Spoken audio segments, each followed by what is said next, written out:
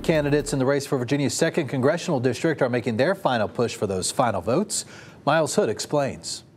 The final full day of campaigning was in full swing in the race between Democratic candidate Missy Cotter Smasal and Republican incumbent Jen Kiggans in Virginia's 2nd Congressional District. We caught up with Cotter Smasal in Virginia Beach's College Park neighborhood, where she knocked on doors and laid out her priorities if elected. Their vote tomorrow can truly protect reproductive rights for generations, can truly protect voting rights for generations, and ensure that basic programs like funding for public education, like funding for Social Security and Medicare, are protected. The race has garnered significant national attention as it's considered a toss up and could go a long way in determining which party controls the U.S. House in January.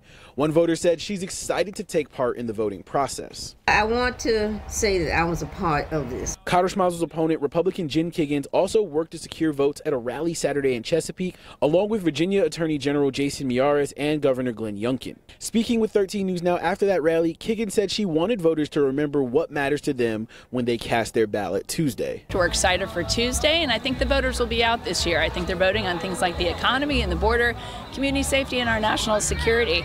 So those things are on the ballot, and Virginia Virginians care about those issues, and I think we'll see that on Tuesday.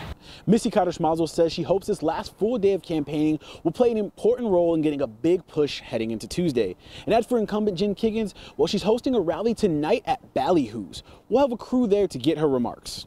In Virginia Beach, I'm Miles Hood for 13 News Now.